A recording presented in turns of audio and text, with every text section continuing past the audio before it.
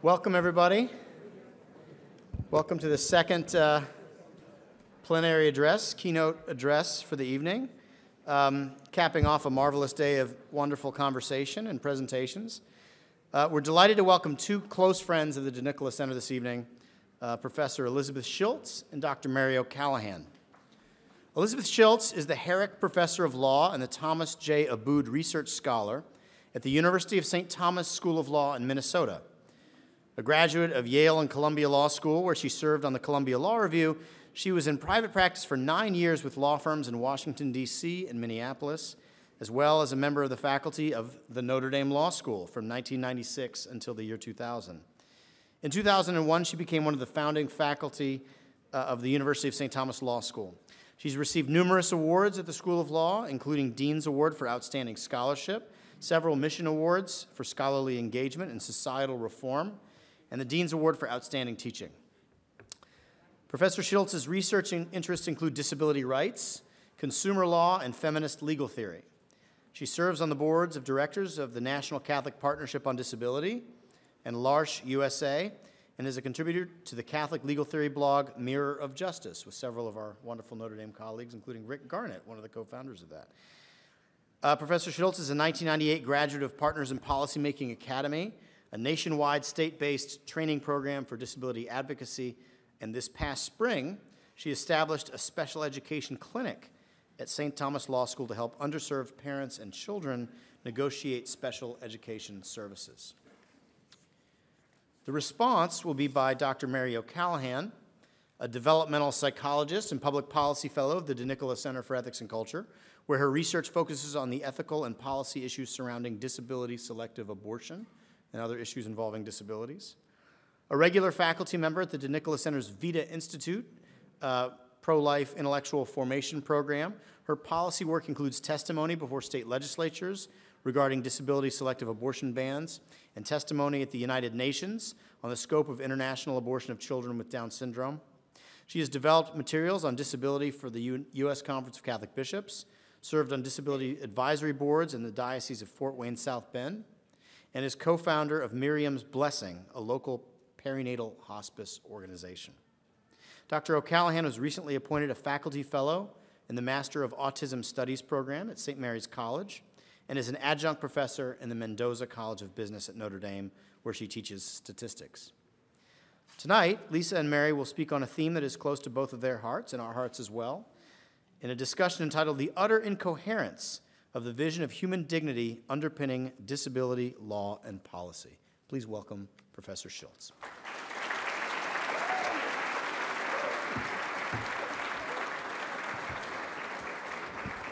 So I have to start by thanking the DeNicola Center for inviting me and thanking personally everybody at the DeNicola Center whose name I do know.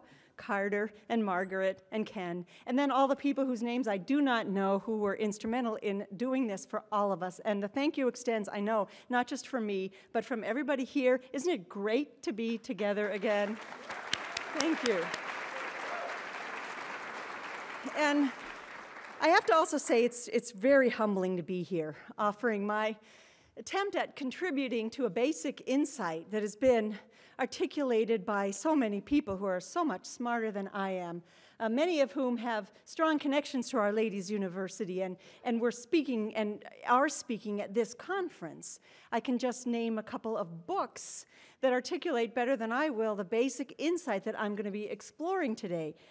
Alasdair MacIntyre's Dependent Rational Animals, Gilbert Meilaender's Neither God Nor Beast, no, Neither Beast Nor God, right? Um, then some other people, Robin West, Reimagining Justice, Eva Feder-Kittay, Loves Labor, and of course Carter Snead, What It Means to Be Human. These are all complex, really wonderful books, and they say so much more about dignity than the little piece of it that I want to focus on today. They share a basic insight, and that insight is, is, is this. We organize our common lives together around some notion, some, some vision of who we are at core, what gives our existence dignity.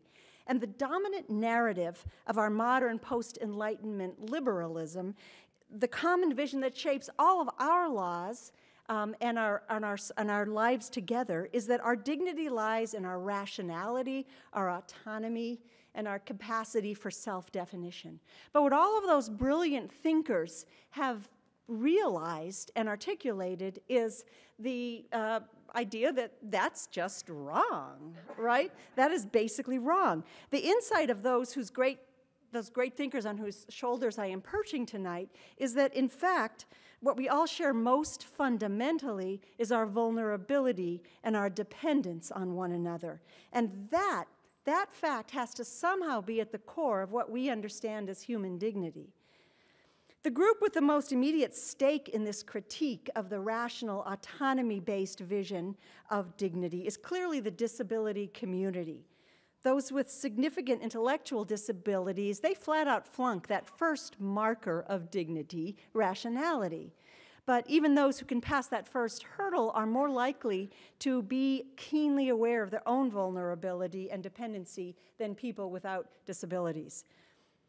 Without a doubt, we treat people with disabilities much better now than ever before in U.S. history, at least recent U.S. history. And people with disabilities in the U.S. have greater rights and protections than almost anywhere in the globe. But I'm going to argue today that our laws are not as strong as your average modern liberal human, humanist likes to think that they are.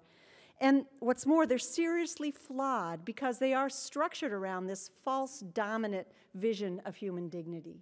And my talk today is going to have four parts. First, I'm going to show how our most fundamental disability law, the Americans with Disabilities Act, I'm going to call that the ADA, how that is powerfully shaped by the values of autonomy.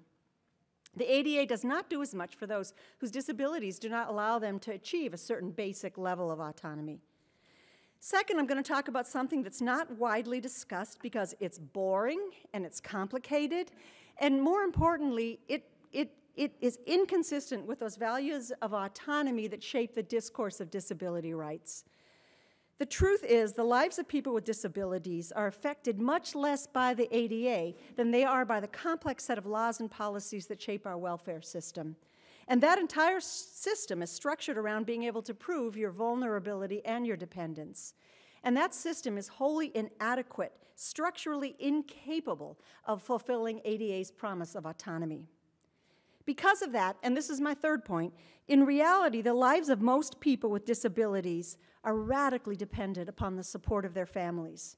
And that hard fact is largely ignored because it is, of course, radically at odds with this value of autonomy. And because this is such an inconvenient fact, families have been left on their own to fill in all the gaps in the social service systems that support people with disabilities. And my fourth and final point is about the real dangers posed by the power of the autonomy rhetoric and disability rights discourse. There's continual pressure to enact legal reforms based on the values of autonomy at the expense of some of the most vulnerable and dependent people with disabilities. And I'm going to talk about two examples having to do with jobs and housing. Okay, so point one the ADA. The ADA, when it was enacted in 1990, uh, was, the, was the, the, four, the fourth in a series of disability laws. The first was the Rehabilitation Act of 1973, which prohibited disability based discrimination in any program or activity receiving federal financial assistance. One of the most dramatic stories in the history of disability rights um, was the, the, the, the, story of the 1977 sit ins and demonstrations that led to the promulgation of regulations to enact the, um, to, to, to, to, enact that law, that Rehab Act of 1973. Um, they finally pressured the Department of Health, Education, and Welfare to approve these regulations. And that was the occasion of the infamous Capitol Crawl, where disability rights protesters abandoned their wheelchairs at the bottom of the steps of the U.S. Capitol building and crawled up to the top of the stairs in order to, to dramatize their struggle. In 1975, we got the Individuals with Disabilities Education Act, the IDEA, which guarantees students with disabilities the right to be educated in public schools. And in 1998, we got some amendments to the Fair Housing Act that prohibit discrimination in, in sale and, and rental of housing. but the ADA is the big kahuna of disability law. So I don't have PowerPoints, but I have one prop. This is my prop. This is the, the statutory supplement that I use when I teach disability law. In law school, typically a lot of textbooks have a textbook that has cases, a narrative, and then a statutory supplement that has the actual laws and regulations that we're going to be learning about. Okay? So this is the one I use. I just want to show you something. All of this, these are the laws and regulations dealing with the ADA. These are the laws and regulations dealing with the Rehab Act. These are the laws and regulations with the Fair Housing Amendments. And then finally, at the end, the IDEA regulations. So pay attention, because I'm going to ask you a question about this later on. But the basic point is this, right? The ADA is really the be all and the end all here.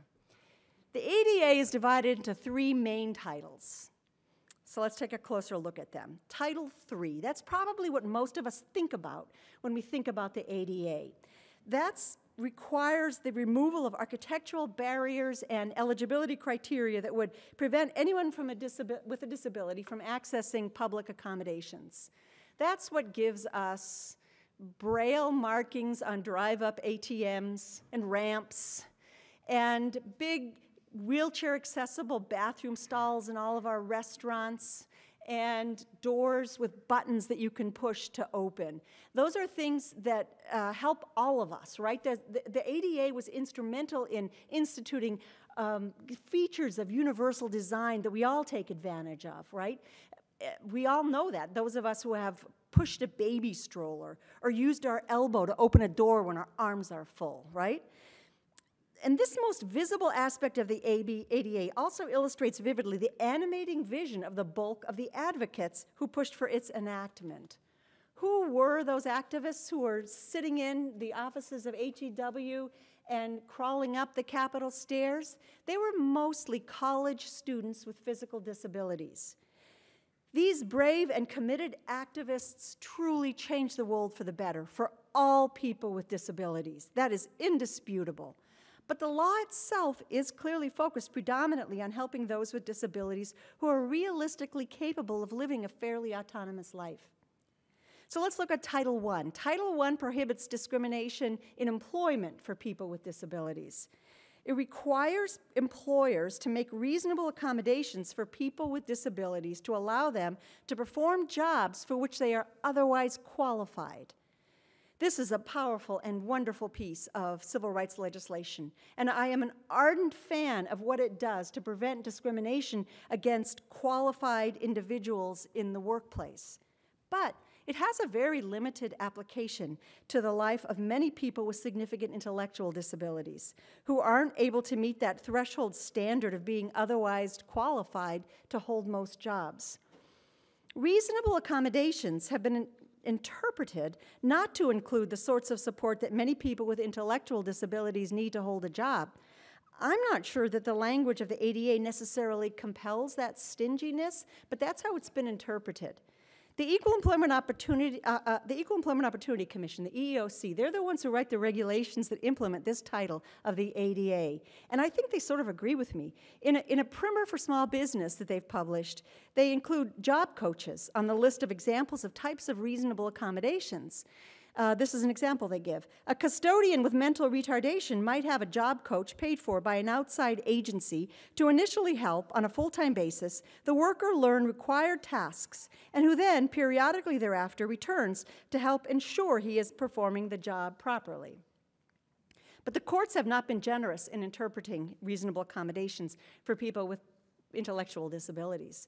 In 1998, a U.S. District Court in Michigan conceded that a temporary job coach providing job training to a qualified person with an intellectual disability might be a reasonable accommodation.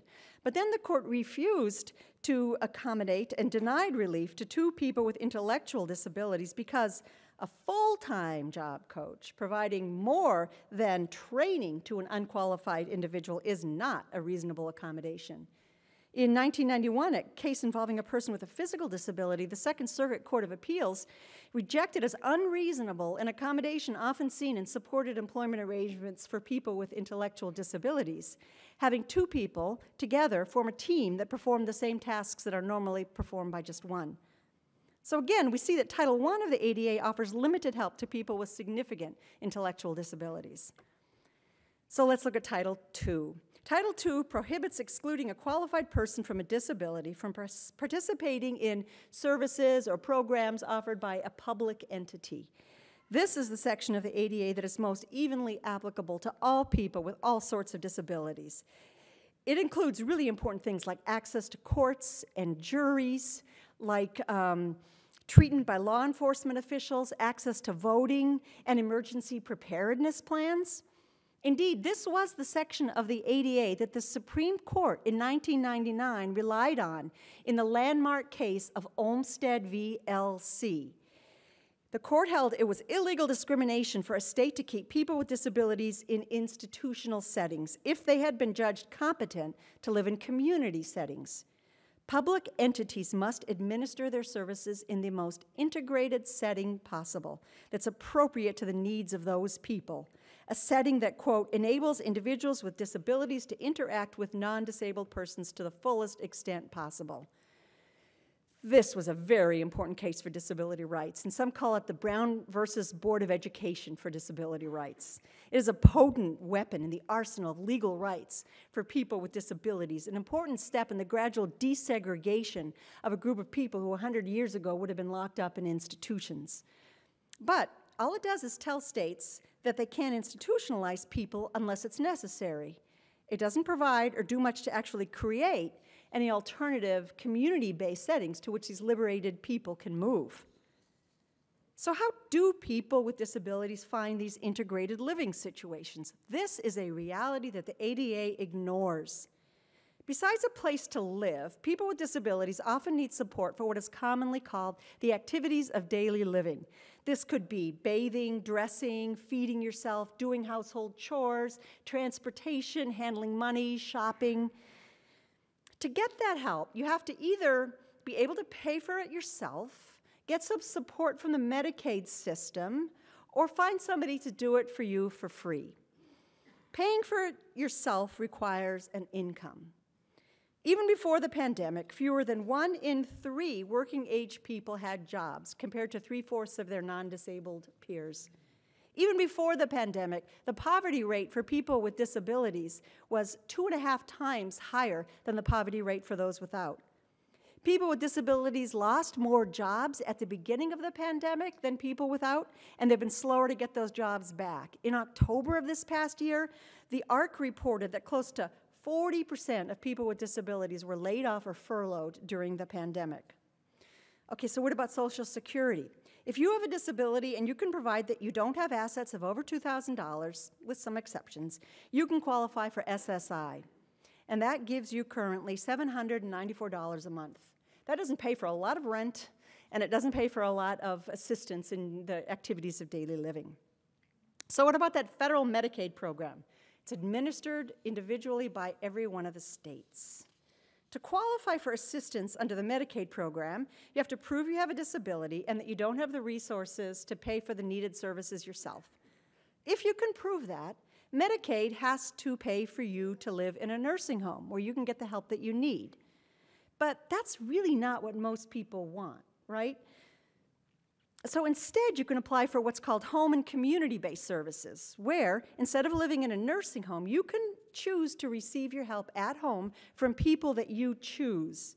These programs are typically called waiver programs because states have to apply to the Federal um, Secretary of Health and Human Services, HHS, for a waiver from the restrictive guidelines of Medicaid that would apply if they were getting these services and this living support in a nursing home.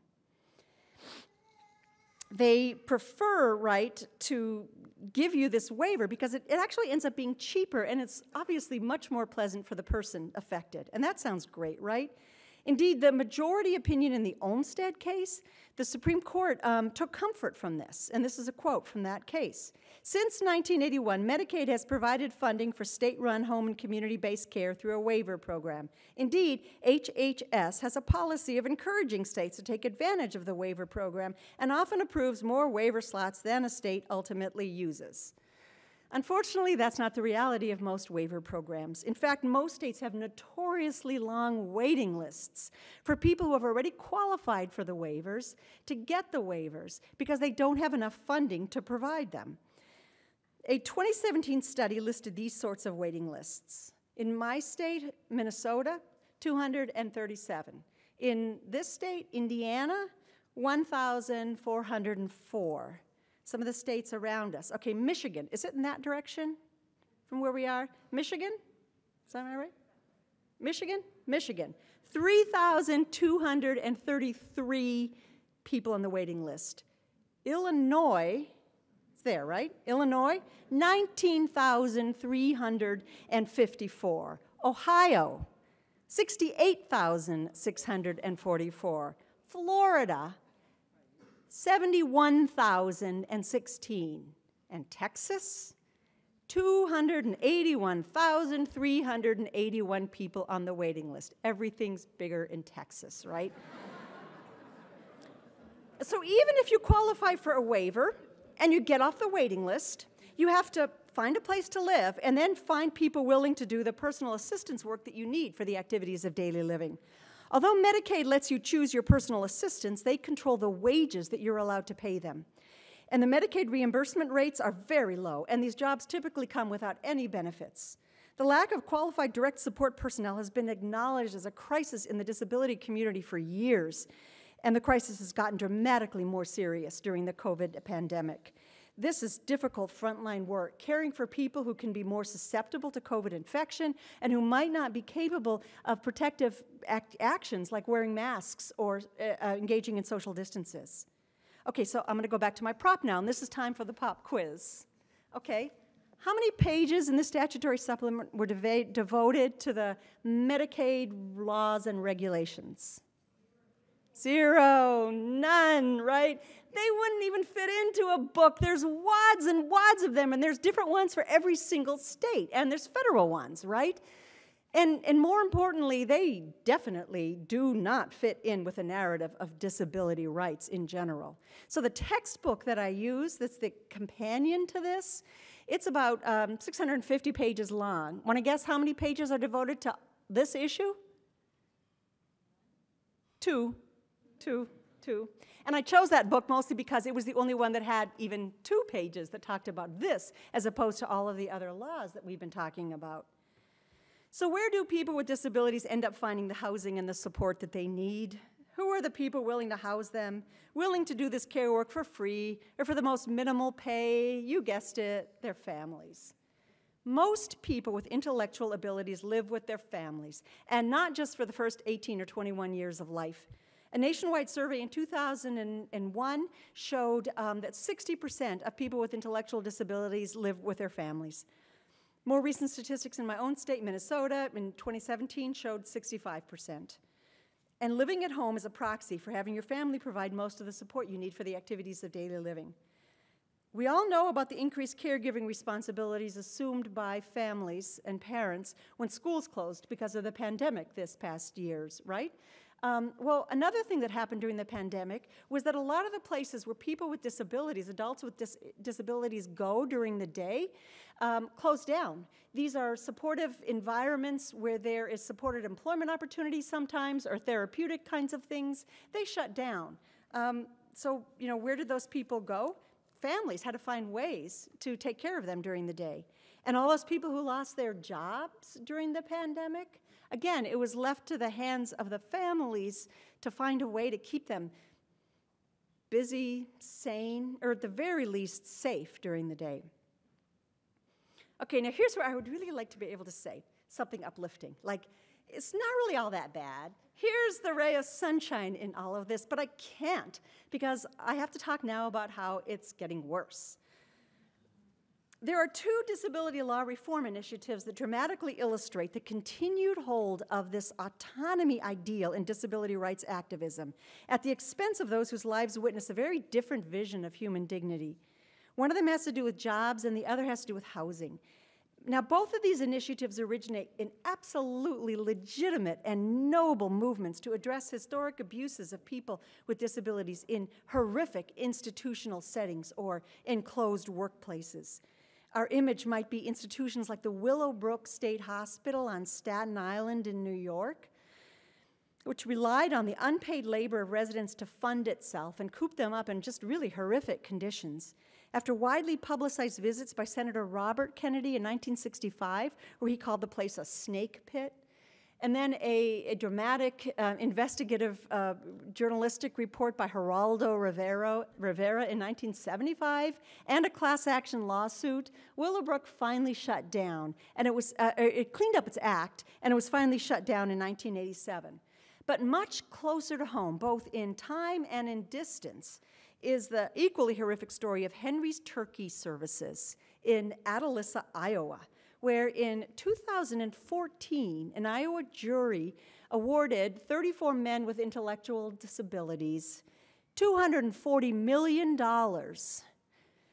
for the decades they'd spent living in a decrepit bunkhouse, locked up at night, so that they could spend their days eviscerating turkeys at a rate of 41 cents an hour. So we still need laws to protect against this sort of exploitation. But do we really need to eliminate arrangements that have nothing in common with that kind of exploitation simply because they run counter to an autonomy based notion of human dignity? Let's talk about work. Over the past decade, there's been a push to close what are called sheltered workshops, places where people with disabilities work in some sort of a closed setting, often at less than minimum wage there are two aspects to the shelter in that name. There's a physical shelter, they're physically segregated from people without disabilities. And there's a figurative shelter in the exemption they get from our laws that require the payment of minimum wages. It's a legal exemption that lets employers be certified to pay less than minimum wages for people whose earning capacity or productive capacity is impaired by physical or mental deficiency. Now, there's constant pressure to totally eliminate that minimum wage exemption. Now, let me be clear. I fully support a critical and careful look at situations where employees are being paid less than minimum wage for doing the same work that somebody without a disability is doing. And I fully support efforts to identify people who might be inappropriately segregated in work situations where they could have integrated jobs. There's no justification for the exploitation of a business like Henry's Turkeys. But not everybody with a disability is capable of that kind of work, and not everybody is comfortable or safe in the hullabaloo of, of, of commerce, of the world of commerce, right?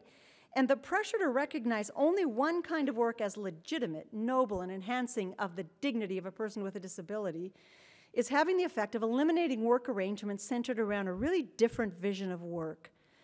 A vision of work is the ongoing participation in God's creation, as having both an objective and a subjective dimension, as having something, some sort of an intrinsic social dimension as well. In 2014, the minimum wage exemption was amended to add a requirement that no one under the age of 25 could be paid a sub-minimum wage unless the state's vocational rehabilitation office, I'll call that the VOC rehab people, the VOC rehab people had to certify that the person is ineligible or unsuccessful at achieving competitive integrated employment. This concept of competitive integrated employment has become the gold standard for all work with people with disabilities. It's defined as having three attributes it gets paid at or above minimum wage. It's at a location that's typically found in the community where individuals with disability have the same opportunity to interact with people without disabilities as other people doing those jobs. And it presents uh, opportunities for advancement similar to those available to employees without disabilities in similar positions. That all sounds like a grand idea, but let's think for a minute about this. Where is this housed? Where do you find this regulation? It's found in the domain of each state's VOC rehab office. And those offices are governed by the Department of Education, not labor, education. Why does it apply only to people under age 25? It's supposed to capture people with disabilities right after they finish their school programs, which typically end at age 21, before they get shunted off into a sheltered workshop. Think about what you have to do to get permission to take a job or to work in a setting that doesn't meet those criteria. Every state runs things differently, but anecdotally in Minnesota, Voc Rehab has to observe you failing at three different situations.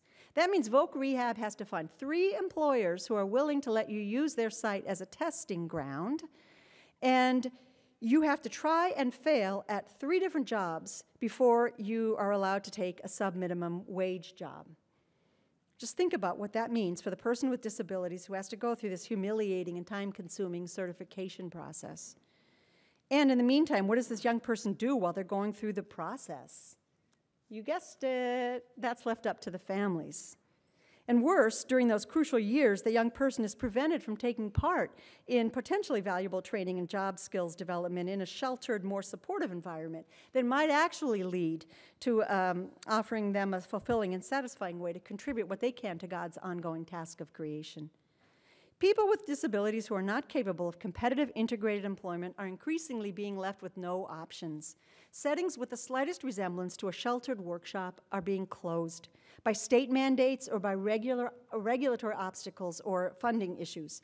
Just last week, the Department of Education issued updated guidance on what qualifies as an integrated employment location and explained that typically found in the community rules out any employment setting that was formed for the specific purpose of employing people with disabilities. It also rules out group employment settings like work crews and landscaping crews, unless you can prove that this crew was not put together for the specific purpose of employing people with disabilities. Now, the guidance does say that a person with disabilities has the right to choose to not seek competitive integrated employment, but no VOC rehab funding can support that person's choice. Instead, the VOC Rehab Agency must refer the individual with a disability to other community resources that may be able to assist the individual. When, the federal, when federal agencies issue regulations, they have to publish a draft of the regulation and give the public some time to comment on it. And then, before they issue the final regulation, they have to write an explanation of all of the arguments they heard, uh, how they accommodated them, or why they rejected them. Now, the, that portion of the regulation that came with the final regulations on this minimum wage exemption uh, adjustment was just a textbook case of the blind adherence to the ideals of autonomy. The constant response of the agency to any of these arguments about the detrimental effect this might have on some people with disabilities was simply, yeah, well, the law says that they ought to have this kind of employment. Listen to this.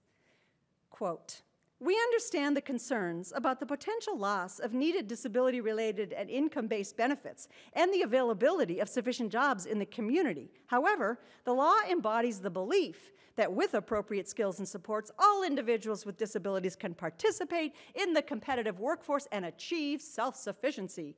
The Act, as amended, could result in more job opportunities becoming available to individuals with disabilities, including those with the most significant disabilities. That was their answer.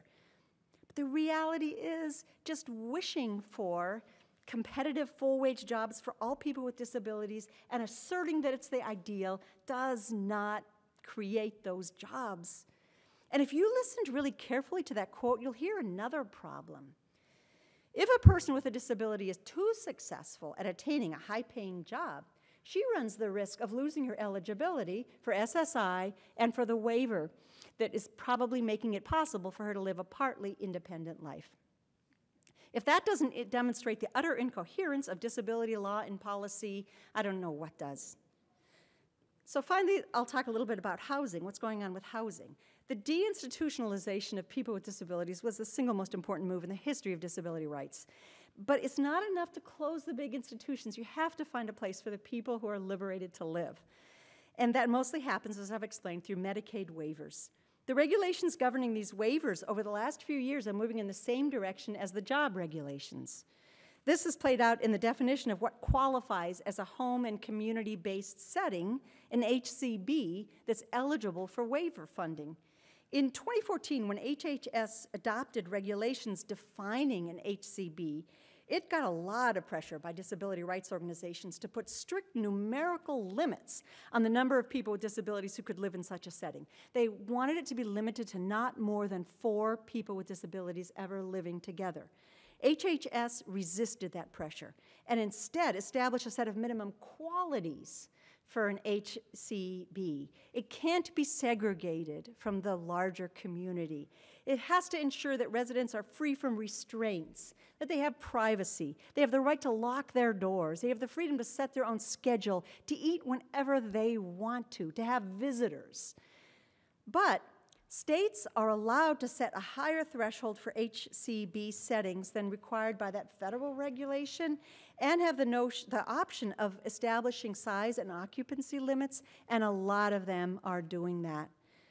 And so the pressure, the pressure too is, is insistent and, and heavy on, on federal reg regulations to implement that four person limit. And what's the practical consequence of this? As, as, Carter said, I serve on the board of L'Arche USA, which is the American wing of a worldwide movement started by Jean Vanier, where people with and without disabilities live together in supportive faith based communities. And um, many of these communities are just finding it harder and harder to maintain the sorts of vibrant communal living situations um, that, that they uh, ideally espouse. In face of these regulatory pressures, they can make um, these homes economically unfeasible. And this move is also contrary to what other non disabled people are increasingly looking for.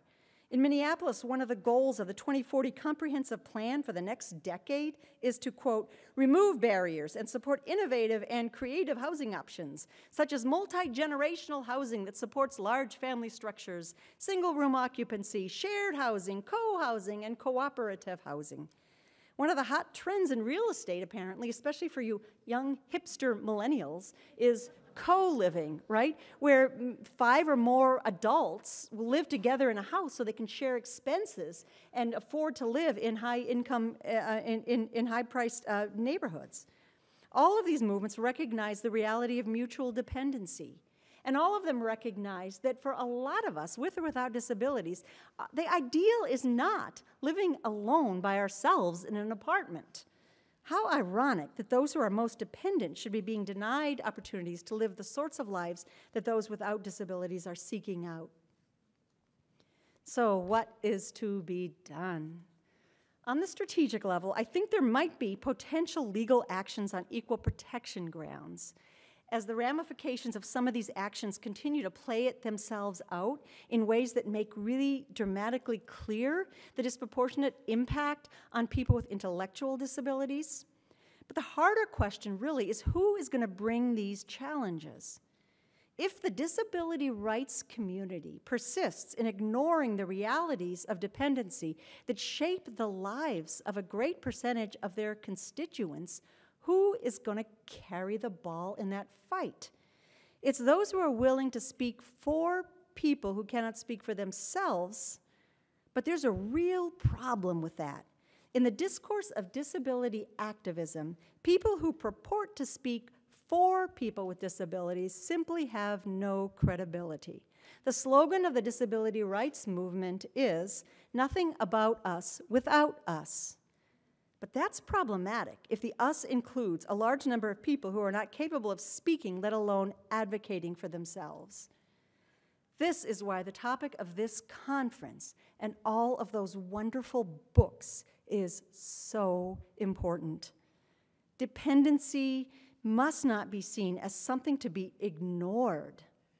It has to be embraced and recognized as something that's integral to our human dignity. How are we going to do that? I do not know. So I'm hoping that Mary is going to have a lot of good ideas for us. Thank you.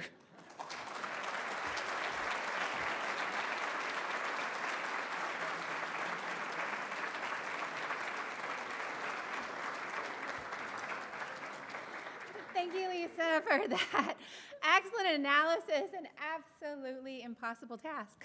I'm not even sure where to go with that. Um, but I'm, I'm really glad to be here tonight, and um, it's really a privilege to be able to respond to you.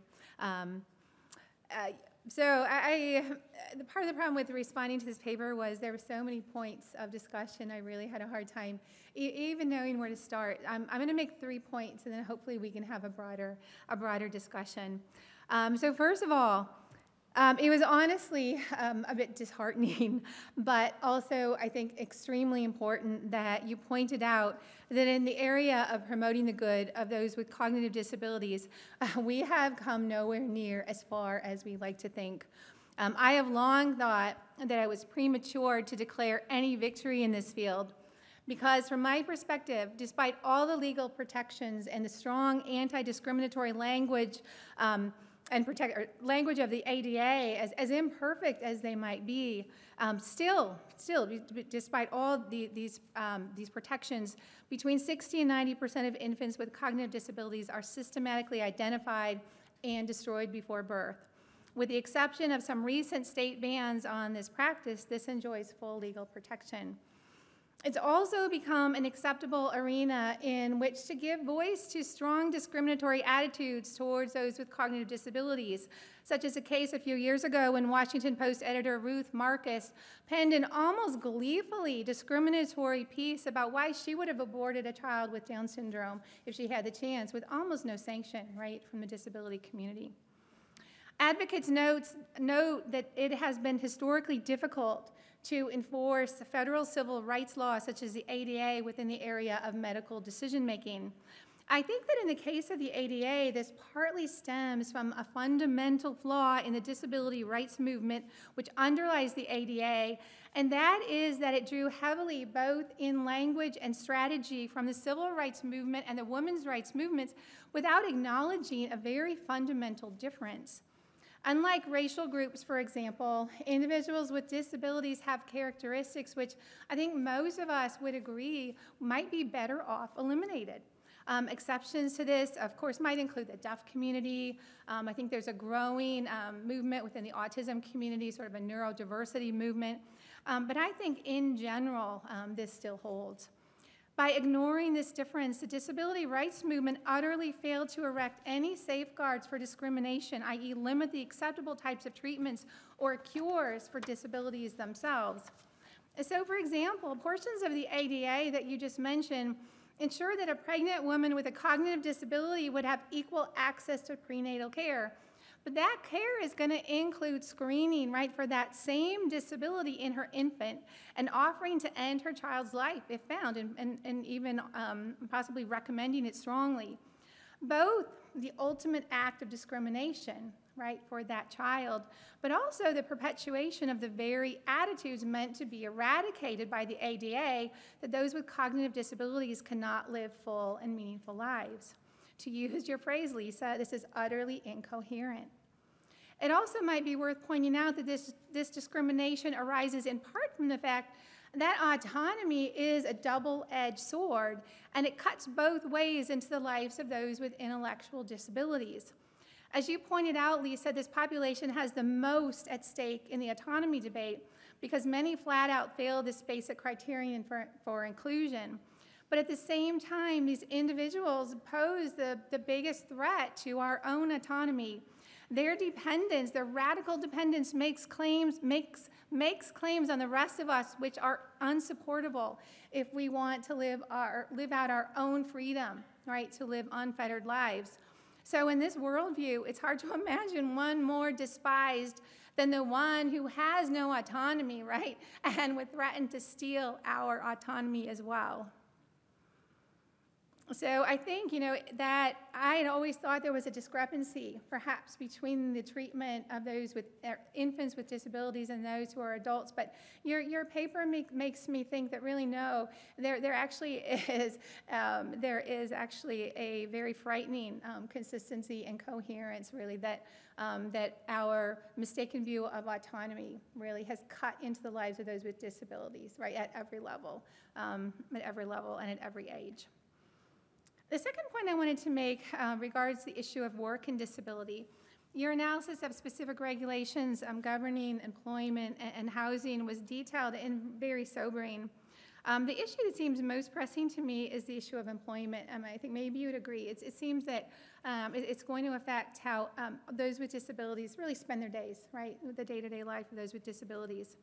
And um, especially with, with regards to um, sheltered workshops, minimum wage, I think that's probably, um, probably the most pressing issue. And, and originally I was going to ask you, Lisa, where these regulations come from because they seem so out of touch with the reality of those with serious cognitive disabilities. And I was going to say, you know, so out of touch with my own field, right, of intellectual disability. Um, and then I'm so embarrassed to say, as I went to research it, um, I find that these come right? I, I think that probably these are very much driven by my own field of intellectual disability. Um, the, a 2018 article in the Journal of Intellectual Disability summarizes much of the current thought on sheltered workshops. Um, for example, this article notes that the U.S. government has acknowledged sheltered workshops or segregated day programs as a form of unnecessary segregation. It comes from the U.S. Department of Justice Civil Rights Division. The author also notes that this is kind of interesting. With technology enhancing employee performance across the, the IDD, um, intellectual and developmental disability spectrum, the concept of disability has been reformulated by disability rights advocates to reflect the belief that persons with disabilities are handicapped by societal attitudes and barriers in the environment, not by their impairment, right? How out of touch is that? It totally doesn't reflect the reality um, of those with disabilities.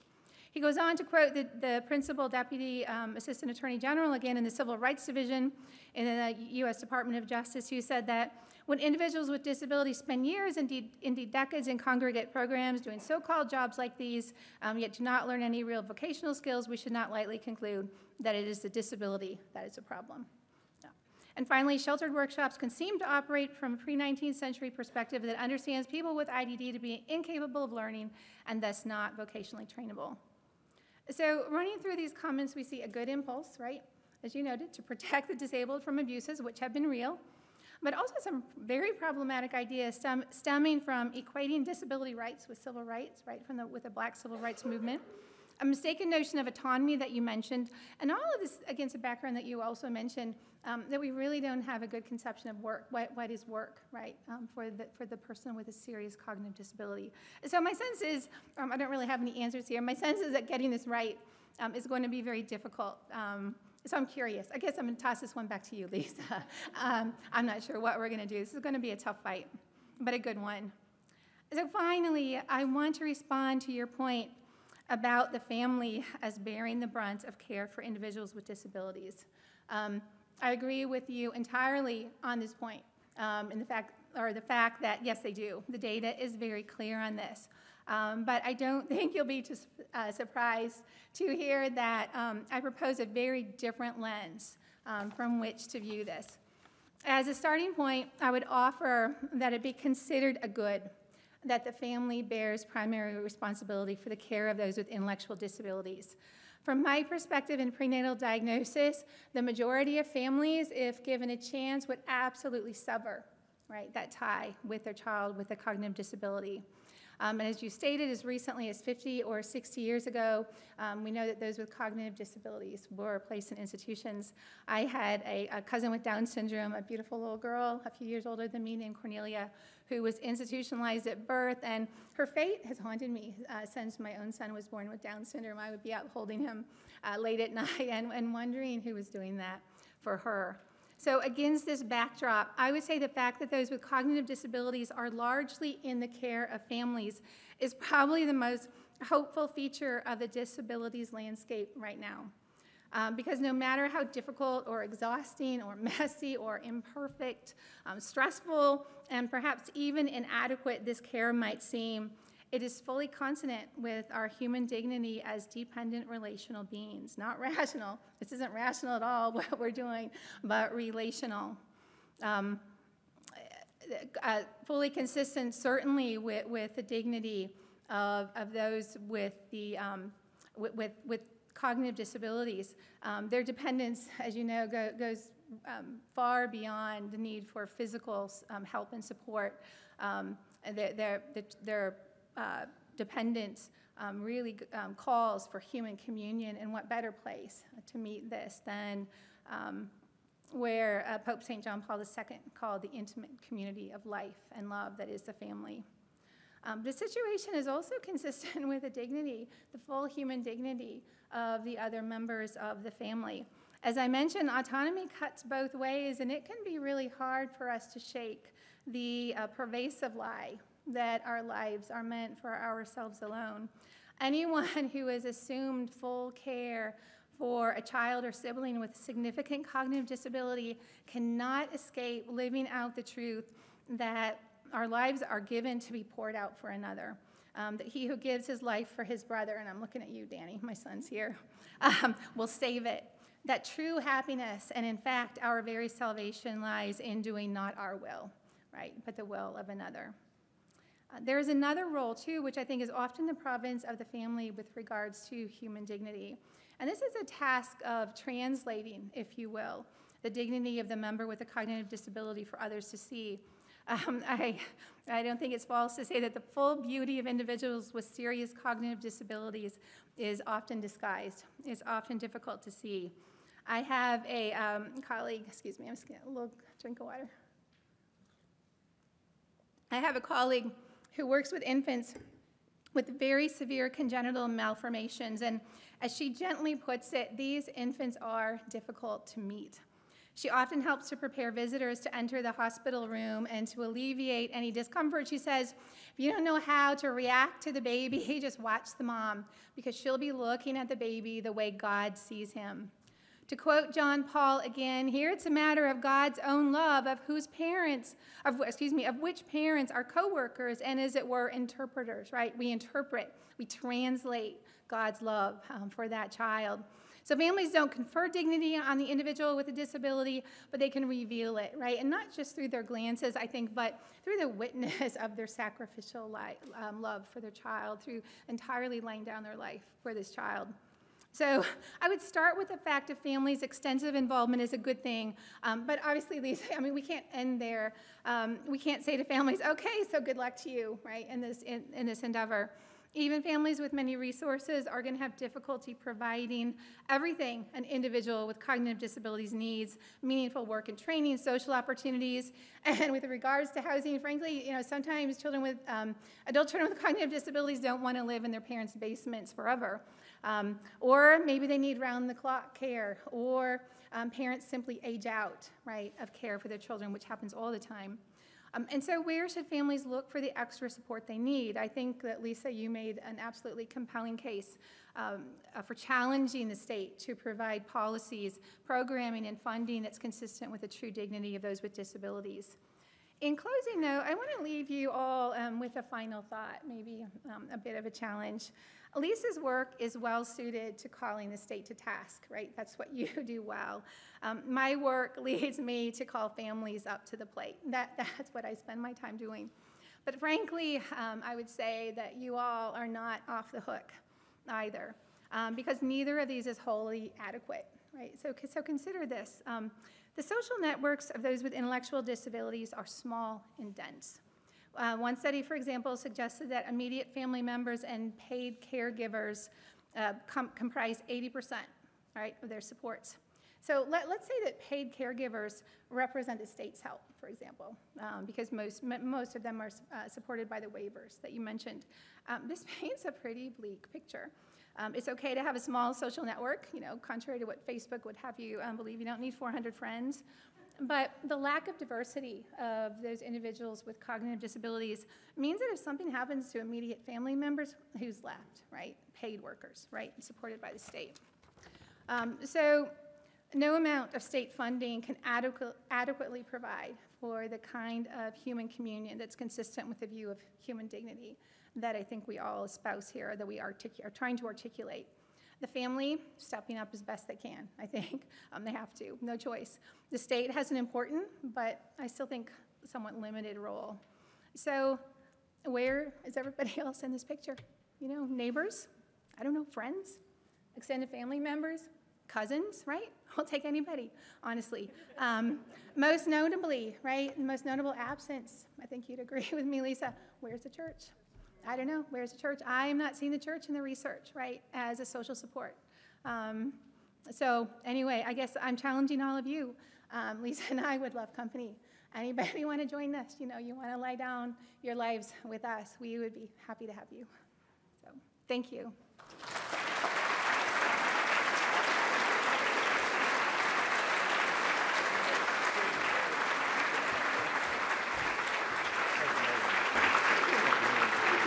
Can I say something? Yeah, yeah, let's start with that. Let's start with that. I just want to thank Mary for everything she did. First of all, giving me a more positive lens to be looking at this thing that has been consuming me as I write this and making me angrier and angrier. She's absolutely right. I mean, I, I you, you may not know, you know that, that Mary has a son with a disability, and I, I do too, and an adult son. And I was, I grew up with a, a, a brother with disabilities, and um, they're both the biggest blessings in our uh, combined families' lives, but they are worries and burdens. And um, we're, the demographic that Mary mentioned of, of, of caregivers aging out is affecting us dramatically. There's a population right now, the greatest generation is all dying, right? And the greatest generation was having people, children with disabilities, at a time when they were being, starting to think that they didn't have to institutionalize them, that they could take care of them themselves. And the greatest generation didn't believe in any of these public supports. So, like my brother, he was able to get a job. He paid taxes. He had a minimum wage job, washing dishes his entire career, and he lived with my parents. And then my parents died, and he's outside of the system. And he's in Pennsylvania, where the waiting list is like forever.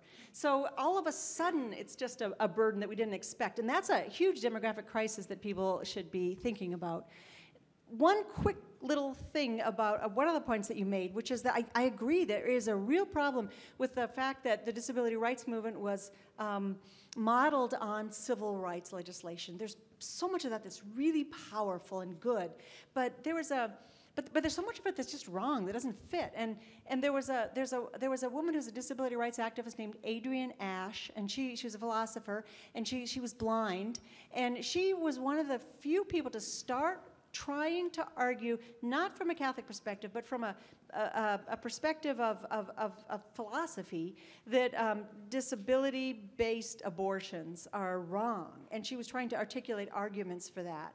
And she was trying to make the argument that there's, you know, being of a different race isn't inherently bad being a woman isn't inherently bad, but it is a reality that having a disability is not a good thing. You can make you you can make you know you can make sunshine out of it, but it's not a good thing. And so and so it, there's just a real difference there. But to, trying to get that into the discourse is really hard. And um, I've been trying to make some of these points in secular kind of conferences, trying to find vocabulary. But the minute that somebody hears that you're a parent of somebody with a disability, you get shut down because you're not you're not one of us you're not you're just you're you're always going to be infantilizing your person and there's nothing you can do about it so these are a couple of my thoughts in reaction to mary's wonderful wonderful remarks Mary, do you want to say anything else? Thank you. No, I'm, I'm happy to be open to questions. Okay, great. Let's, uh, let's open the floor to questions. This is an extraordinary. Please come up to the um, microphones and uh, tell us your name and, and where you're from, and then ask your question. We'll start over here. Hello, my name is Teresa Hanish. I am from the University of St. Thomas, so really close to you. Um, I am wondering what the answer to Mary O'Callaghan's last question was is where is the church? And since you both have family members with disabilities, what would be your dream response to see from the Catholic Church? Absolutely. So this is fr- sort of from my perspective. Yeah, could you hold the mic? Yeah, thanks, Mary. Can you hear me now? okay. Um, my perspective, the work, the work I do. So I um, work very hard on calling parents, right, to accept their children into the um, the domestic church, right, into the family, which is a domestic church. But these same parents, right, um, and, and the church, the church itself is very good on this, on, on the question of disability selective abortion, of course, right? Um, absolutely, absolutely supports um, parents carrying their children to term and, and, and bringing them into the family, the domestic church. But these same families, right, when they approach the larger church for help for catechesis initially, um, baptism's not so much a problem, right? there's, there's not a lot of requirements there. But for catechesis, which requires um, a certain commitment uh, on the church to, to provide a specialized catechesis um, for the sacraments, et cetera. Um, but most notably, noticeably, at least in this country, because this is a, a large part of parish life for us, the Catholic schools, um, uh, it, it's absolutely um, it's, it's very rare um, for, for children to be allowed into the Catholic school. Um, and most Catholic schools, if they say they provide um, special education, they typically mean they have children with um, IEPs, so, some kind of individualized education plan, um, but certainly not the kind of, of disabilities, um, I think, like our sons who might need more supported care.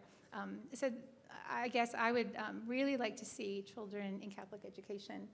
I think that's so important, and I think it's I think it's important not for our, simply for our children, right, who um, absolutely deserve um, a faith-based education, um, but I think it's crucial for the entire church. I think it's crucial for the rest of children in the school um, to to have exposure to, to children like ours. Mm-hmm. I absolutely agree with with everything that, that Mary said. Um, and I had a striking experience once. A young couple, very, very Catholic, had um, grown up in Catholic schools all their lives, had a child with Down syndrome, and when I visited them, they said, We've never known anybody with Down syndrome. That couldn't be true if you went to public schools, but it is often, it can be true if you've gone to Catholic schools. I would also say, just on the parish level, you want my wish list? Okay, when you have a kid with a disability and you want to sign them from special ed, don't tell the parents they have to do it because nobody that's a volunteer is going to be not as scared as you are. Um, that's number one. Number two, confirmation. Great opportunities for all kinds of service hours for everybody else in the confirmation class. Don't tell the parents that they have to do their own little special confirmation training. Number three, adults with disabilities, everything drops off. When school ends, when they're 21, they lose friends, they lose social opportunities, they lose sports, they lose everything. So, parishes that could put together young adult programs for people with disabilities, social programs, not just segregated, but invite them to your, um, to your, to your, to your parties, to your dances, and, and can be companions to them, be friends to them, and volunteer to take them places. Um, Mary's story about, you know, needing people. I just I'm desperate to get somebody to take my son somewhere on Saturdays every once in a while. You know, and I keep asking my son as a youth minister, don't you have some teenagers who could do this? You know, but uh, haven't been any success yet. And then finally, um, like parishes, I think parishes should be reaching out to every group home. Or, or facility in their area and asking if there are any Catholics there who need transportation to Mass because that's not happening. And if their paid aides don't want to take them to Mass, they don't get to go. So those are some of my concrete suggestions. Over here. Uh, my name is Leah Sargeant. I write the Other Feminism Substack focused on the dignity of dependence. And this is also a wish list question because your, both of your remarks reminded me of the writing of Father Jean Daniélou, who wrote Prayer as a Political Problem, and said that part of the way the state can get in the way of a full religious life isn't an active hostility, but a false neutrality that doesn't give people the support they need to live a full spiritual life as much as we need a full life of work or a family. And in your talks, I hear that same lack of support for families that are making heroic sacrifices for what shouldn't be quite that level of heroism. There should be easier to care for the people you love. So I'm wondering what can the state do to better support what you've described, Mary, is the natural choice to, to care for the child you love. Uh, but it kind of feels like it's treated as a neutral choice or a choice among other choices, and it isn't given the weight of support it needs for it to feel like the natural choice. Well, a, a couple of things. I mean, there are these, um, you know, things that are built into that whole waiver system. Um, parents can, can, get paid to do some of the care work, um, and siblings can get paid, and that's all really good. But they're still treated as second class, and maybe there should be a recognition that that kind of work should be paid even even more than if it's a professional, because it's somebody who knows the, the person so intimately. Um, the, that, there's all these other weird little incentives. Um, for example. Um, um, just uh, priority in getting COVID vaccines. Um, that happened through people who were paid to take care of my kids. They got priority. And because some of my other kids, they do get paid to do things with my son, they got priority too, which is good. But I didn't get any priority. You know, I mean, so recognizing in, in just all these facets of things that the, the caregiving work of, of, of family members is doing, is frontline work and should be valued as such. I think is really important. And a recognition that, you know, the, the strides that we make on, on family leave and, and, and, and things that being extended a bit to um, uh, support the recognition of the necess- necessity for elder care. And I would like that to be extended too, to uh, support the recognition of life, you know, lifelong care responsibilities that people might have. Yes, tell us your name. I'm Claire Marie Patris, also from the University of St. Thomas in Minnesota. Um, I'm overjoyed that we're addressing this issue, so thank you for speaking. Um, my question is in regards to cures. Um, keeping in mind that individuals with disabilities provide so much value and perspective to society that those of us without disabilities frankly cannot. Um, are cures something that we should be pursuing at all? Um, and if so, where's the line there? Um, yeah, I'd just be curious to know your thoughts on that. No, that, that's an excellent question, and it's one that I've been asked a lot. Um, but I say absolutely. And my uh, my sort of mentor, although he, is long, he's, he's, he's, he's not alive anymore, um, at least sort of for thinking about this, is um, uh, uh, Jean, not, not Vanier, I'm blanking. Jerome Lejeune. Jerome Lejeune. Jerome Lejeune. Um, uh, because he was absolutely convinced, right? He, I don't know, I'm assuming you're, you're familiar with Jerome Lejeune, um, but his cause is up for canonization. Um, he discovered the um, genetic basis for uh, Down syndrome and then spent the rest of his life, right, trying to cure it. Um, and obviously, part of his motivation for curing it was that he realized the discovery he had made was going to be used for um, for finding and, and, then destroying these children. Um, but he also, he was just convinced. He, he was convinced that in order to save these children, um, we needed to cure them.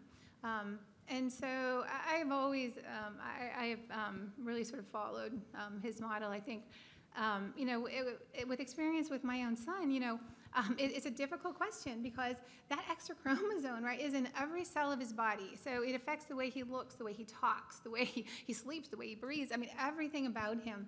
So I don't even know what a cure for him would look like. I don't know what it means to say, you know, he would be cured. But at the same time, I would give him better health if I could. Um, you know, he, he um, has a feeding tube, he has a G tube, he um, he has um, hearing problems. He has visual problems. He ha- uh, was born blind in one eye. Um, he has serious learning problems. I think I think that Down syndrome makes children more susceptible to autism. He's got autism, which causes um, serious behavioral problems. Um, he really struggles in every aspect of his life. I mean, I love him so much. Um, I don't know. It, it seems to be selfish um, just to say that I don't want him cured. But again, I don't even know what that means, to be frank.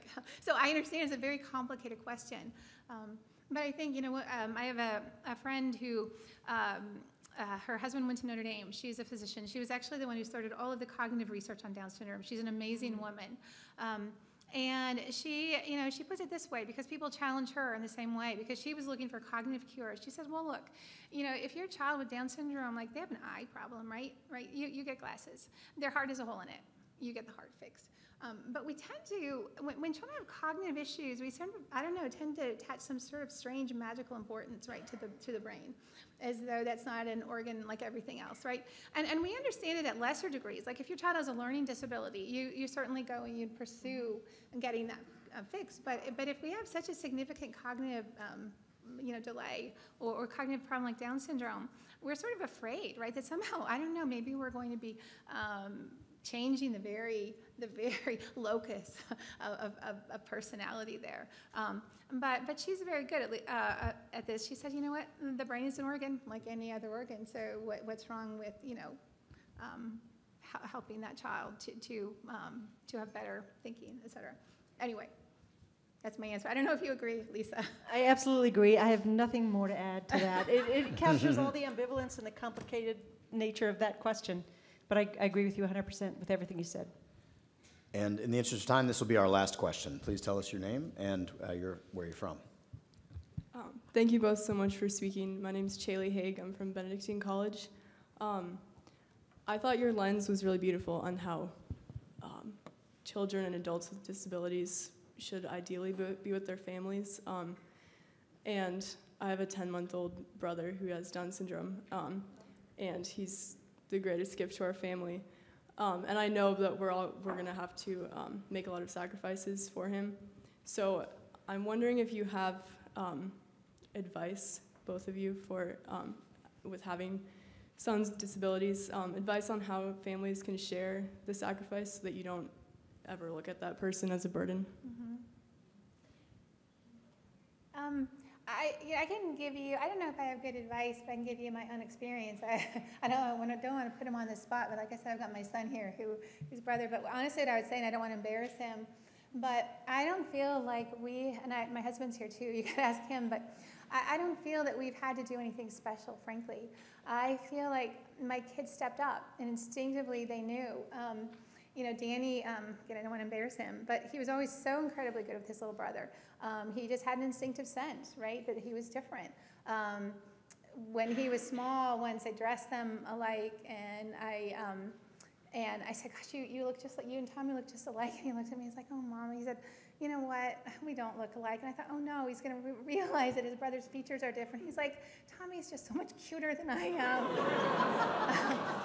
and you know, I feel like um, when my I had another daughter who's very small, which is very small. My son had a feeding tube, and you know, um, I think we, my husband and I were out of the country. Um, together my parents were there and, and they, they said my daughter you know she would come into a room she would just assess what he needed she would you know pick him up um, feed him via his g-tube give him a bath i, I don't know there, there was something about him that just called them called something out of them that was very good and my husband and i say you know we are not responsible for the characteristics of our children. Um, I feel like our son called something out of them um, that we couldn't have ever given them.